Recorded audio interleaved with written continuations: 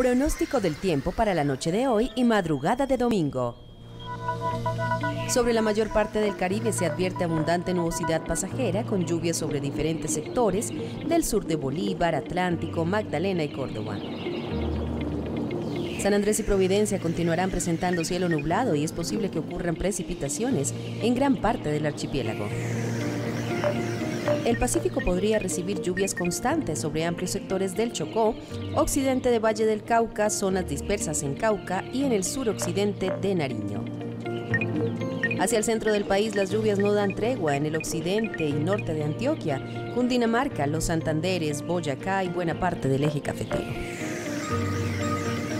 La Orinoquía mantendrá las condiciones lluviosas principalmente sobre el oriente de Vichada, Piedemonte de Meta y Casanare. En la región amazónica se estima una disminución importante en la nubosidad, sin embargo se esperan lluvias constantes sobre el piedemonte de Caquetá y Putumayo y parte del Amazonas. Bogotá se alista para una fría velada, la cual podría presentar 9 grados como temperatura mínima y lluvias sobre diferentes puntos de la capital. Mucha atención a las principales alertas para hoy.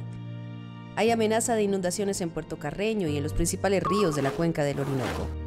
Atentos a posibles incendios forestales en varios departamentos de las regiones andina y Caribe. Hay amenaza de deslizamientos en varios departamentos de las regiones andina, Orinoquía y Amazonía.